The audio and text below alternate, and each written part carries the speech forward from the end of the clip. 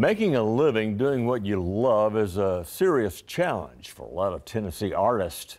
Well, some face more obstacles than you might imagine. Edwin Lockridge knows this firsthand. This is the story of a mixed media artist who's encountered more than his share of roadblocks on his journey to success. I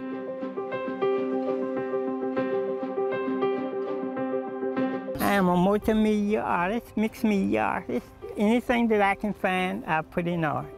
Found objects I find along highways and streets, alleys, wherever I can find stuff interesting, I pick it up and make art out of it.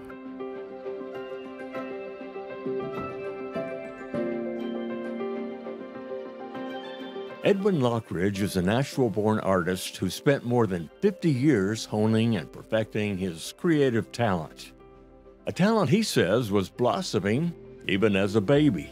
My father went to Tennessee State and studied art, and my parents have actual photos of me as a baby in a crib with a pen and pencil, painting and drawing. In the many years that followed, Edwin experienced the usual ups and downs of struggling artists. However, since the onset of COVID, he's endured an especially painful burden homelessness. So, how'd you get by then? Oh, faith.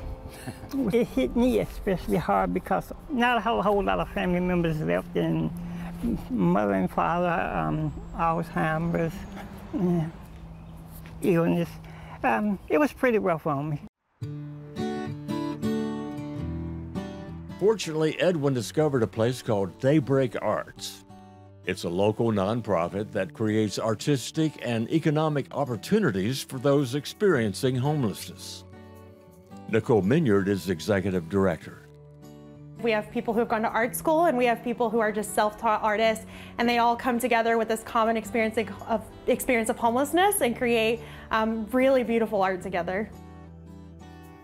With his eye-catching art and infectious personality, Edwin quickly became one of Daybreak's favorite members.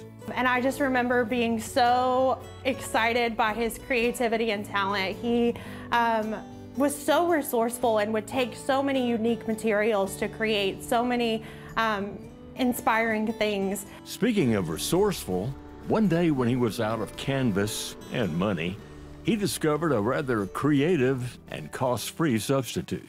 Actually, when I ran out of canvases and I could not afford them, and I saw the first bumper, and that actually inspired me. And uh, whenever I run out of money, out of canvases, I go looking for bumpers.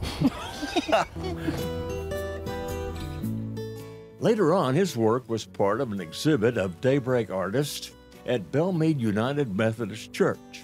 Pastor Steve Stone was delighted when Edwin came back for more. He came back later and did another showing prior to COVID, and then he came back again. So we just, he's a regular artist for us. He's a friend of mine, and uh, we've just gotten to know one another and love each other, and it's a good thing. Since then, Edwin's displayed his works at numerous other churches and private galleries. Also, his talent is gradually catching the eyes of art lovers and potential buyers. To his legion of friends and admirers, it couldn't happen to a nicer, talented guy. He works really hard to do art and to partner with Daybreak Art and do a lot of good things, and so he's, he's working really hard doing his thing. He's an amazing artist. Everyone in our collective loves Edwin. Um, they definitely, he has a spirit that um, it's just so kind and makes you feel so special and welcomed. And I think that, you know, our staff feels that, our board feels that, customers feel that, um, but most importantly, our artists feel that. While Edwin is still technically homeless, he's far from hopeless. The attention for his art is growing, well, just like the passion he has for creating it. Well, you have to start off with a empty canvas, a blank canvas, and make something beautiful out of it that somebody admires and that which could possibly change the world. That for me is a blessing.